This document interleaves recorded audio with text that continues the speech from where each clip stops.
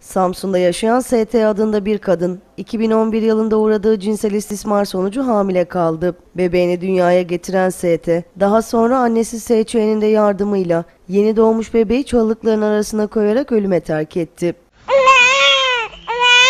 Olaydan tam 5 yıl sonra gelen bir ihbar polisi harekete geçirdi ve anne ile kız Samsun Cinayet Büro ekipleri tarafından yakalanarak gözaltına alındı.